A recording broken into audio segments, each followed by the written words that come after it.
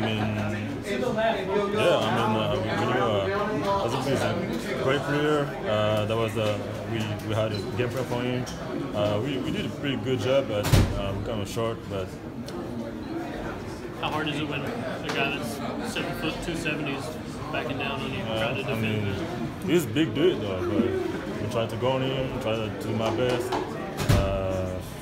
Yeah, just uh, we, we have play, uh, a game plan from him, uh, best line trap, so we try to do our best. How do you feel this team is doing right now? I mean, do you feel good about this team with the way you guys played today? I mean, we feel good. We, we show a lot of good stuff. Uh, we need to build on that. Uh, we still have some stuff to fix in, in offense and defense too. But we, we fought, we really fought, and we had a good, we did a good job. And we just uh, just uh, build, build on that, keep going, keep practicing. Yves, I know